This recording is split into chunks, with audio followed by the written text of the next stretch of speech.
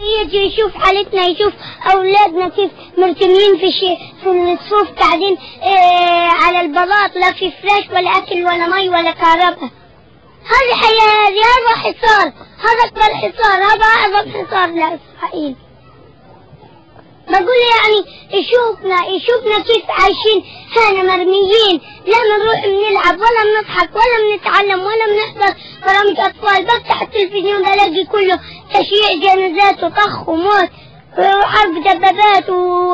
واجتياح بلاقيش برامج أطفال اتسلى اتعلم منهم. بلاقيش آه رسوم متحركة العب آه أتفرج علينا اتسلى كل تشييع جنازات ولا عاملين شيء وبطخه. إحنا هنا لا في أك- أكل ولا مي ولا شرب ولا ولا إشي أنا. إحنا هنا زي الشحادين مرميين شوفوا الشعب.